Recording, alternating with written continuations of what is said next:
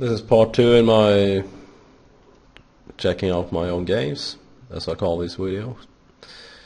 Uh, I start here and uh, my, I, I said that after bishop c5 my opponent resigned because the only move is rook to d4 to stop checkmate in one move, so... okay. Here's another game I played very recently uh, with the black pieces. My opponent played e4, knight f6, c4, e6, knight c3, bishop b4, f3. And, and this is actually something rather annoying for black, I think.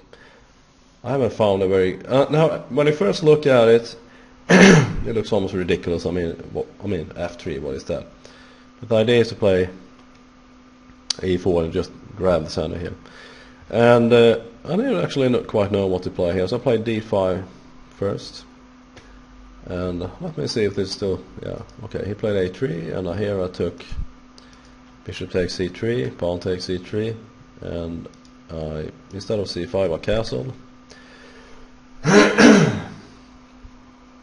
he plays c takes d5, let's see if this is still open, yeah, okay, c takes d5, uh, e takes d5, still open in theory.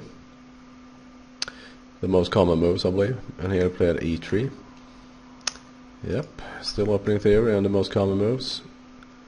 I played uh, not the most common move. I was uh, I, didn't quite remember c5 was the main move, or, so I played rook e8. It looks logical to put more pressure on this pawn as well as making e4 more difficult. So you play bishop d3, still opening theory, and here I play b6.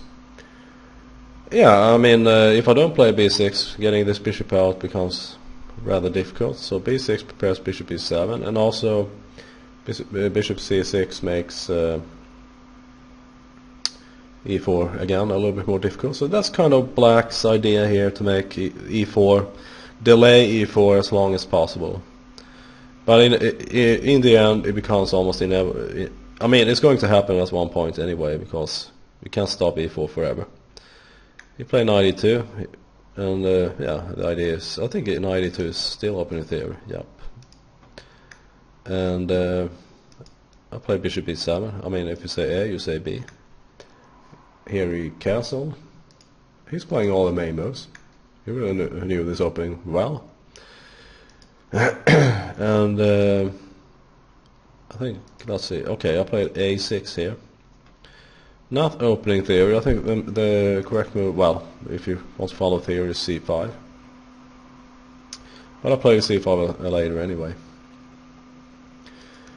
I played a6 because uh, I wanted to stop something like bishop e5 at some point, attacking my rook here on e e8. But, uh, in, but in fact, I think uh, it gives white more time. So, as you can see, now I have a knight, I have a rook, and a bishop, and a pawn. uh, just trying to make e4 or delay e4 and here I played uh, probably not a very good move knight b d7 making e4 very attractive for white. Play rook a2 rook a2 his idea is to go here. He wants to get e I mean that, that's really what white wants to do here. He wants to play e4 so he's preparing that all the time, as you can see. Uh, okay, uh, here I play c5, but you know, c5 doesn't really change anything because after rook uh, e2, he can still play e4. And I can't stop that because, yeah, okay, I can take this pawn, but it doesn't matter because even if I take this d pawn, he takes back with the c pawn, and the scenario is still the same. He can still play e4. I play queen c7, not really knowing what else to do and e4. Uh, yeah, I think black is worse here. Again, taking this pawn on d4 makes no difference at all, so you might just as well let, let, let the tension be there. I went, I'll play knight f8 because I knew that he, uh, if I don't play knight f8, then the, it's very hard to actually find a good square for this knight. I think even if I don't play knight f8, this knight is lost. Or at least we'll move the rook. So knight f8, e5, uh, So these two knights are just traded places. But also I have a little bit more protection on my h7 pawn. But now, you know, you can really see this avalanche of pawns uh, thrown at black. I think black is strategically perhaps lost. I don't know. f6, knight f5, uh, b5, knight d6, uh, rook e6. I was prepared to actually sacrifice my rook for the knight here. For example, if uh, this move, then I would just take over here. So that was my idea, because that's pretty much how bad black position is. But he played a stronger move, uh, instead of letting me do, uh, I suppose he actually saw that, so he played knight takes, bishop, queen takes, and now f5, rook e8, e6. It looks very bad for black. uh, knight b6, I had to move my knight obviously and this pawn is going to drop off but I figured that I was going to somehow win it back. Bishop takes, uh, first I was looking at uh, pawn takes but the problem is that if pawn takes it can double up on this pawn on d5 and it's kind of difficult to protect it as well because uh, if I put my rook over here you know at some point perhaps e7 is yeah kind of unpleasant so I took with my d-pawn. I think black is lost here actually. But uh, well, let's see what happened. Uh, bishop f4, a5, bishop d6, b4, just trying to do something. Pawn takes, pawn takes, pawn takes, queen takes. Here we can even play. I think I even looked at that. c3. Uh, sorry, c6. And the, and the point is that I can't take the bishop obviously because this queen is protecting uh, protecting it. So I play uh, he play rook b2, queen c3, rook c2, queen b3, queen e2. so he's attacking this pawn. Rook a4, rook fc1. Now this was a blitz game like the other games, so we we were really down on just seconds here. g6 I mean, I have to do something. Pawn takes, knight takes. I would prefer to take with the knight, but I, I want to get this knight out some sometime. Uh, okay, so he took my pawn. I'll play rook a6, rook e4, discovered attack, queen a3. And here he blundered. I mean, like I said, we were down to just seconds here, so we played queen f2, attacking this pawn, but he forgot his rook on c1, so I played Queen c1 check, and uh, he, he lost the rook. Uh, rook. Uh, but okay, I, I, think black is lost here. But I won the game anyway. But you know that's what happens in blitz. Uh, so let's take a, a look at another game. let's see what happened here. Yeah, wow, I've seen this silly move many times. c4, d4, takes, takes, d5, bishop d3, knight f6. I have no idea whether or not this is, yeah, it is opening theory actually. Every time I see a move e3, it just, yeah, that's just a silly move. Nice e6, castles, e6. Uh, I would prefer to get my bishop out, but I, I, think I was, I didn't quite like that because of the here, maybe you can even play this move. And then this move, and here you can just take, something like that. And but it turns out that bishop g4 is actually opening theory. But I didn't do that, so I play e6, and then yeah, I was thinking that maybe at some point I can play e5 or b6 just to get the bishop out. Rook e1, bishop d6, bishop g5 takes. Okay, bishop g5 was a mistake, obviously. Why? Well, I have this classical. Uh,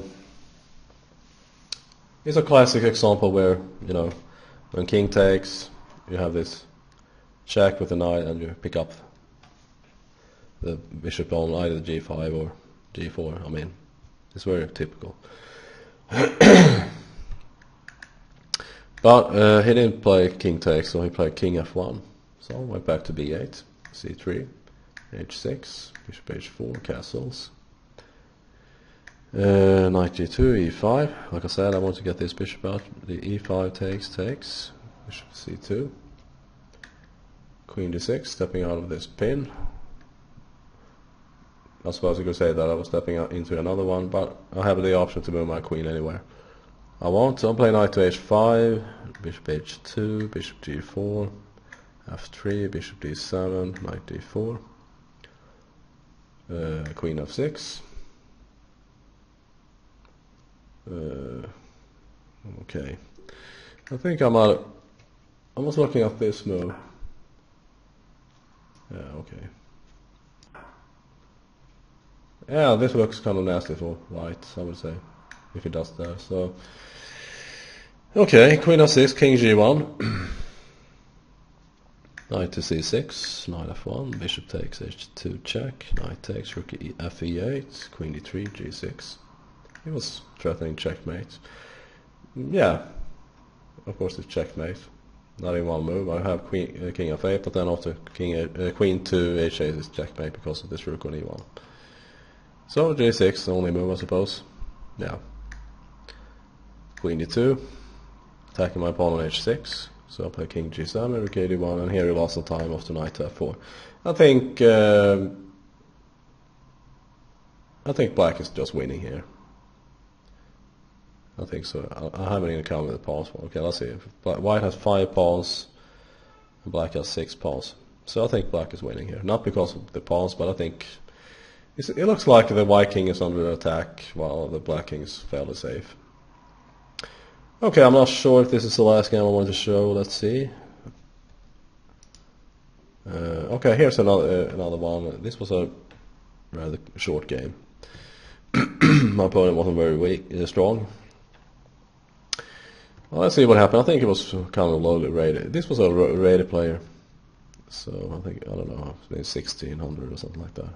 1400, 1500, I don't know. I think he handled the opening at least fairly okay in, so far. Not sure if this is still all, all opening here. Okay, e3. I play c5. He, played uh, the opening move here is c takes d5, but he played bishop d3, and we were out of book, so I played c takes d4. E takes d4, a6, stopping knight b5, preparing b5 after c, uh, d takes c, perhaps. He castled along. Not a very good choice, I think.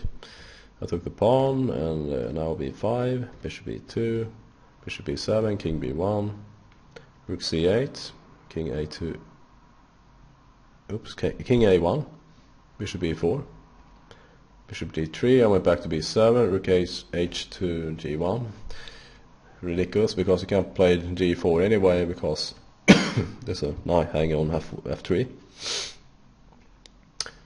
Queen a5. This is starting to look rather unpleasant for white, I think. You play queen b3, but now I have uh, rook takes c3. Uh, exchange, sacrifice. Pawn takes, bishop takes c3 uh, check, king b1, and here I play bishop d5. And here you play queen takes d5. Now, if you didn't play queen d5, and let's say something like this, that's obviously the only move. Then I have this, and uh, he has to go over here. Uh, what else?